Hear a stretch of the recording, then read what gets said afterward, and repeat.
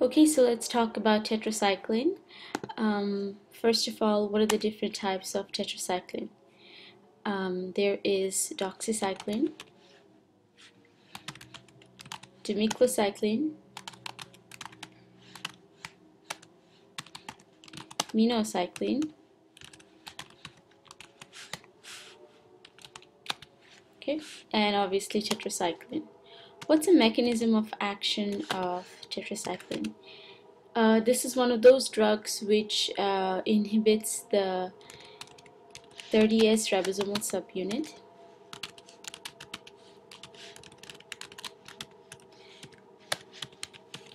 Okay, and how does it inhibit? It will not allow the amino acyl tRNA from sitting from its 30S ribosomal subunit position. Okay, so it will prevent attachment of amino acyl tRNA. So it will prevent attachment of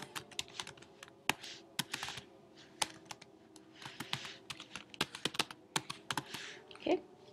And some of the things we should be know knowing um, when we're talking about tetracycline is that it is we should not be taking it with milk or antacid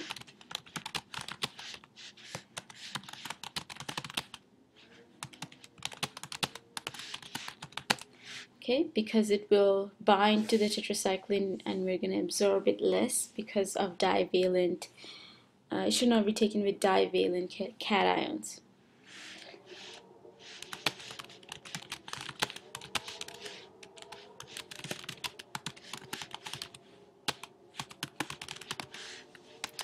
Okay um, anything else for mechanism of action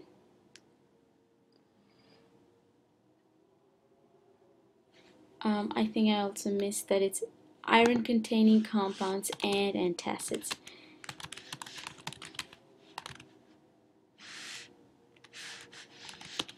Iron containing compounds and antacid. Okay. Alright, let's move on to the clinical use. Um, just a quick question. What other drug in the in the microbe section does the same thing. It will not allow divalent absorption.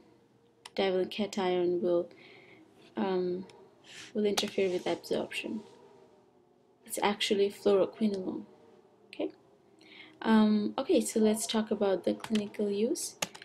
I'm sure you know the mnemonic for this one. It's vacuum the bedroom. So V is for Vibrio. A is for acne. This one acne minocycline is used here. Um, C is for chlamydia. C is for chlamydia. U is for Ure ureaplasma and urealyticum. M is for mycoplasma. Okay. Vacuum the. T is for tularemia. TH is for H. pylori. H. pylori and bedroom B is for uh, Borrelia burgdorferi. Also Bartonella so there's two B's here. And R is for Rickettsia. Okay R is for Rickettsia. Okay so let's quickly review it one more time. V is for Vibrio cholera A is for acne C is for chlamydia ureaplasma urealyticum Mycoplasma, tularemia, H. pylori, uh, Burgdorferi, Bartonella, and Rickettsia. What are some of the drugs used for uh, H. pylori other than tetracycline? We can use Metro. We can use amoxicillin. We can use um, proton pump inhibitor.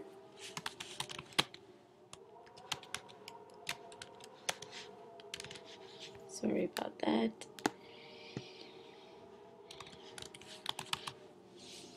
okay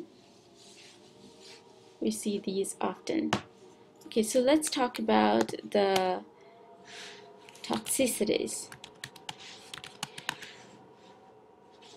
Okay. There's quite a few toxicities for tetracycline. There is also a nice mnemonic. Well, it's actually my mnemonic, so I don't know how other people do it. The way I do it is GBTPP.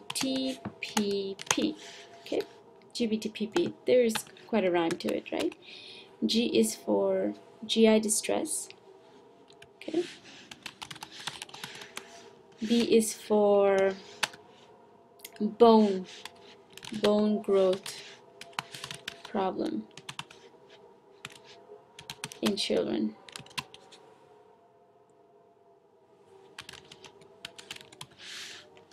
T is for teeth discoloration. P is for for photosensitivity and the last P is for pregnancy. Okay, that's about it. Um, the last thing I wanted to talk about was the different types of tetracycline, um, which is right here.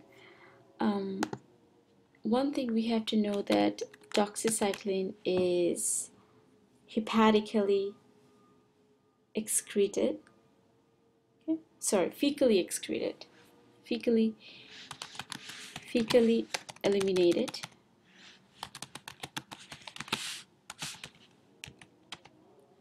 As a result it can be used in patients with renal failure okay so can be used with renal failure. Simple, right? The next thing is demeclocycline. Demeclocycline can also act as an ADH antagonist. What does that mean? Um, when there is too much ADH, uh, demeclocycline can be used. Um, for example, it can be used in the disease SIADH, which is syndrome of, of inappropriate ADH. So there's that's when the urine concentration is going to be so so um, so so low because urine is not concentrated. Okay, so that's about it. Um, and also doxycycline is used for Lyme disease. I know they're all used for all these bugs, but this one is specifically used for Lyme disease. So try to remember that too. Right, so that's about it. And please visit my blog for the notes for these uh, tutorials if you think it's helpful. Other than that, um, I'll see you in my next video. Bye for now.